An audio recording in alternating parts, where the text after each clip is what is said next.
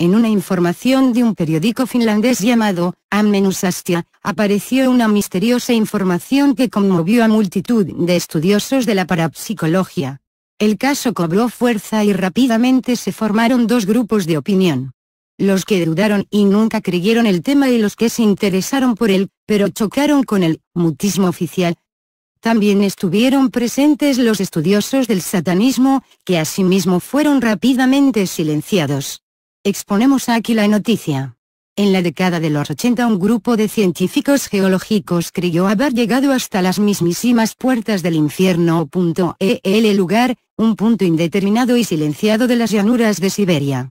El director del proyecto, un tal Dr. Azakov, pronunció en una posterior rueda de prensa fuera del lugar lo siguiente. La información y los resultados que hemos recolectado es tan sorprendente, que estamos sinceramente preocupados respecto a la naturaleza de lo que hemos encontrado allá abajo. Y es que este grupo de geólogos trabajando en la perforación de la Tierra, en una investigación geológica, al parecer llegó a 14, 4 kilómetros de profundidad bajo la corteza terrestre, y encontrándose en aquel punto, afirmaron haber oído y escuchado gritos humanos. Quedaron muy impresionados y en su informe, afirmaron haber discernido lamentaciones impresionantes y dantescas.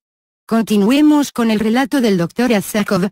Después de haber excavado varios kilómetros bajo la superficie de la Tierra, el taladro comenzó a rotar rápidamente, más rápidamente de lo normal. Solo había una explicación, y era la que habíamos dado con un hueco.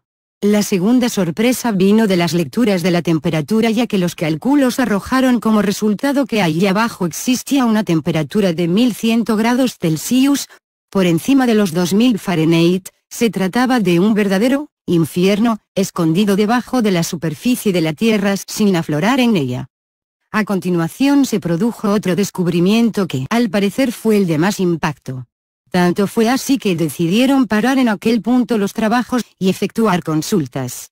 Ya que al intentar mediante aparatos de precisión, escuchar los movimientos de la Tierra mediante micrófonos de precisión y de alta sensibilidad colocados estratégicamente en diversas partes de la galería, lo que consiguieron escuchar y grabar los dejó mudos y blancos de terror. Aunque al principio creímos que se trataba de un fallo de nuestro equipo, tras unos ajustes comprendimos que el sonido provenía del interior de la Tierra y verdaderamente no podíamos creer lo que oíamos. Se trataba de voces humanas, gritando de dolor. A veces el sonido de una era bien discernible, aunque se podían escuchar mientras, miles en segundo plano, chillando con gran sufrimiento.